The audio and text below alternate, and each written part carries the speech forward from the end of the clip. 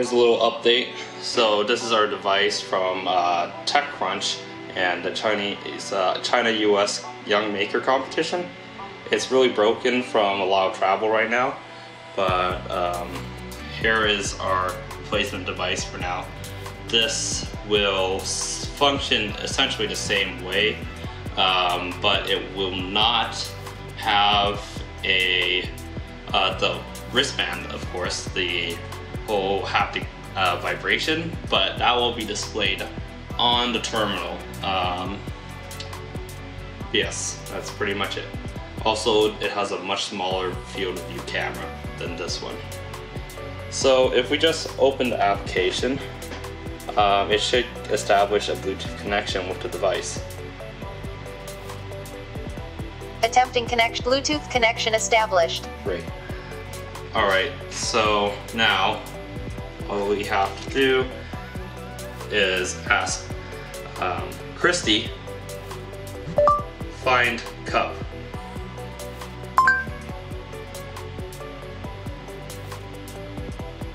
Cup found. Great, now it's finding the cup. Object found. And I'm centered. Great. Alright, um, this works for other objects too, like maybe this mouse will work. Christy, find mouse. Could not find mouse. Uh, uh, maybe keyboard. Christy, find keyboard. Keyboard found.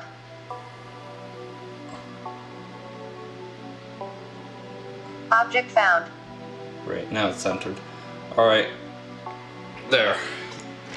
That's a quick update.